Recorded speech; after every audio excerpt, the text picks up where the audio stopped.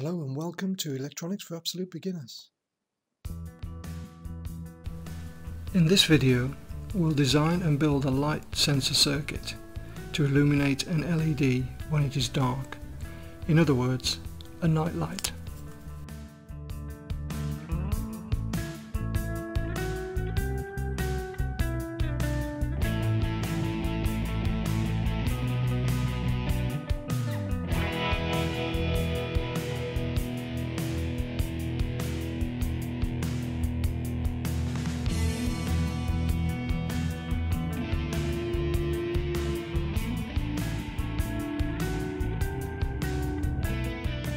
So here is the circuit. The three interesting components in the circuit are the transistor, which behaves like an on-off switch, the LDR, which determines the voltage applied to the base of the transistor, which either switches it on or off by controlling the flow of current from the emitter to the collector, and the variable resistor, which, working in conjunction with the LDR, determines the level of light at which the transistor and therefore the LED is switched on. So let's look at the LDR. The resistance of the LDR changes according to how much light it is exposed to. When it's dark at night, the resistance is high, and when it's light during the day, the resistance is low. The variable resistor works in conjunction with the LDR to control the level of light at which the transistor is switched on.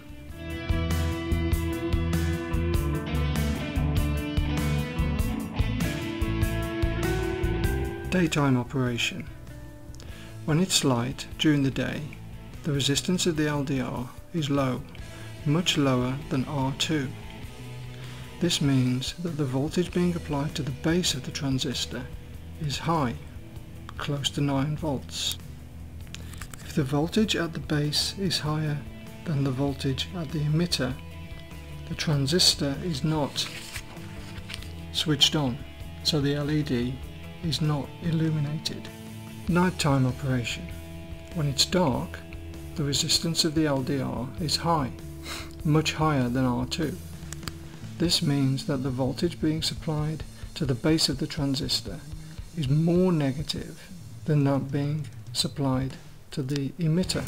This switches on the transistor and current flows between the emitter and collector which completes the circuit and illuminates the LED. So here's the circuit on a breadboard. If you build the circuit in a reasonable amount of light, which I expect you will, otherwise you won't be able to see what you're doing, when you switch on the circuit it's quite possible that the LED will not be illuminated. Assuming you have built the circuit correctly, this is correct behavior. If you now cover the LDR with your fingers to simulate darkness, the LED should become illuminated. If it doesn't, turn the knob on the variable resistor to change, to reduce, the resistance. If you don't know which way to turn it, try both directions. At some point, the LED should become illuminated.